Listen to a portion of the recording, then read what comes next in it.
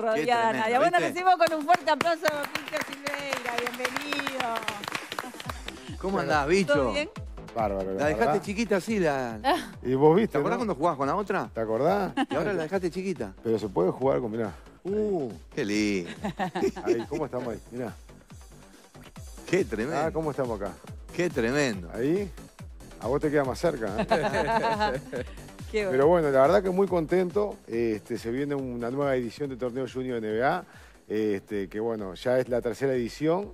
Ha- la verdad que ha traído un montón de alegrías a, a niños, niñas, adolescentes en todos los barrios. ¿Cómo llega, bicho, esta propuesta? Bueno, esta propuesta llega, eh, de, llegó antes que incluso estu- estuviera trabajando yo En Goes. en- no, en GOE y antes que, antes que llegara yo en- a la Secretaría de Deporte de la Intendencia, ¿no? que esto fue hace ya tres años atrás, Mirá. dos años atrás.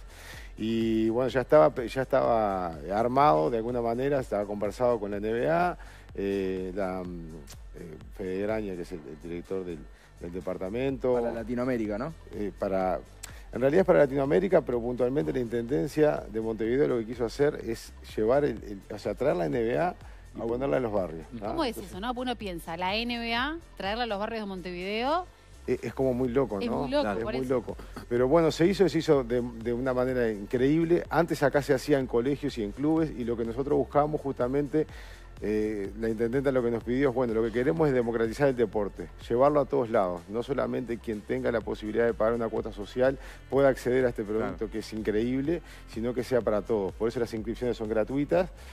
Y ahí se van generando y formando los equipos, ¿no? Se hace un torneo símil de la NBA, con 30 equipos, igual que en la NBA, tanto masculino como femenino, así que en total son 60 equipos que compiten en todo Montevideo en más de 45 espacios abiertos que tenemos en, en ¿cuántos todas las... estamos hablando? y Son 720 en total, Wow. 360 varones, 360 Hay que niñas. coordinar todo eso. Bueno, sí, es un montón, pero... ¿De qué edades? ¿De entre qué edades? entre, eh, entre 10 y 14 años. Este año, por ejemplo, son para los nacidos en el 2010, 2011, 2012 y 2013. ¿Ah? Tanto, o sea, equipos masculinos y equipos femeninos. Ahora, bicho, ¿sentís que en este último tiempo las niñas como que también un crecimiento importante a partir de- del crecimiento, valga la redundancia, del básquet femenino en nuestro país? Bueno, nosotros lo que, eh, lo que mm, del primer año al segundo año detectamos fue que había un 85-15, o sea, en lo que es participación tanto masculina como femenina a nivel de lo que, de lo que es el básquetbol eh, en Uruguay. Eh, y lo que nosotros buscábamos justamente era incrementar la participación femenina. El primer año hubieron 16 equipos que se inscribieron y el segundo año, que fue la edición pasada, conseguimos que se inscribieran 24 equipos. ¿tá? Nosotros, aparte también fue una directiva especial de la Intendenta de que este, teníamos que buscarles un espacio a, a la- a la- a las mujeres, a las niñas, a los adolescentes, para que también pudieran, eh, de alguna manera, Incursionar. incursionar. No Y- juegan mixto, juegan... no, es masculino o femenino. Digo, son, son algunas reglamentaciones que ya vienen directamente del torneo que se juega a nivel mundial. Y bueno, hay equipos masculinos y equipos femeninos. Hay, hay, hay dos, eh, dos deportistas que se fueron a Estados Unidos. a- Sí, eh, bueno, el primer año la idea también era eso. Lo que se termina haciendo es yendo delante de la arena a jugar las finales y las semifinales y finales. Se juega el nue- este año va a ser el 9 de marzo, el año pasado creo que fue el 10 o el 11. Y una de las cosas que pusimos especial énfasis en que no solamente es quienes lleguen a la final eh, son los que participan del evento, sino que todos los, los el año pasado fueron casi 500 adolescentes que fueron a la Antela Arena con sus familias y que desfilaron dentro de la Antela Claro. Arena con cada uno de sus equipos. ¿no? Además, O sea, para un jugador claro. profesional, jugar ante la Sí, arena sí, es sí. tremendo, imagínate para un Claro. chiquilín. Claro, ¿no? Ah, y aparte todo lo que conlleva que, que decimos que es el Antel Arena Claro. eh, es un estadio, parece un estadio, cerrar los ojos. y Es un estadio. NBA. Es, Por eso.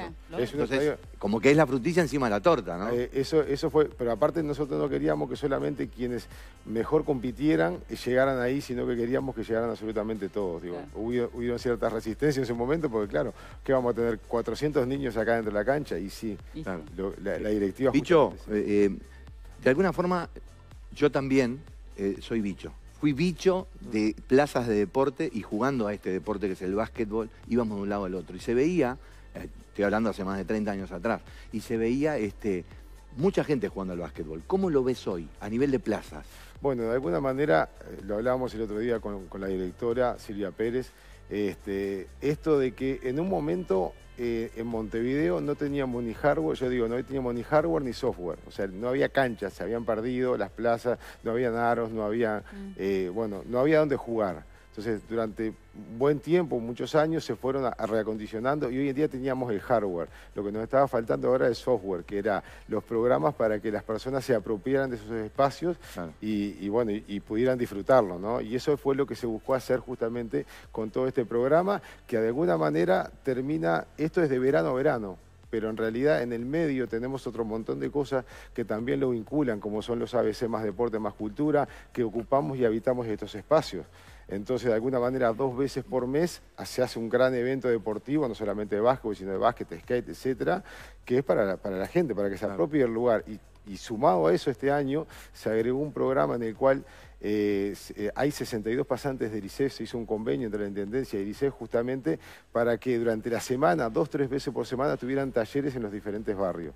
Entonces, de alguna manera, aquello de verano a verano fue de mes a mes y después fue de prácticamente día a día para que justamente pase esto, ¿no? Que, la gente se apropie. ¿Qué le permite a los chiquilines, este, a los adolescentes, a los niños, este, ganar a través del deporte en esta oportunidad, específicamente a través del básquetbol?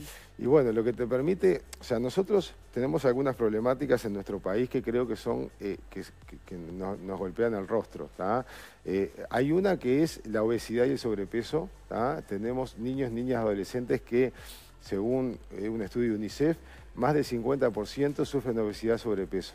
Este, esto ataca directamente justo este problema, los, los motiva y los incentiva para que entren en el deporte, en esto en el mundo del básquet y, que bueno, que después nos ha pasado historias de niños y adolescentes que después le han dicho quiero seguir jugando al básquet y se terminan anotando en, club, en algún club, en alguna institución.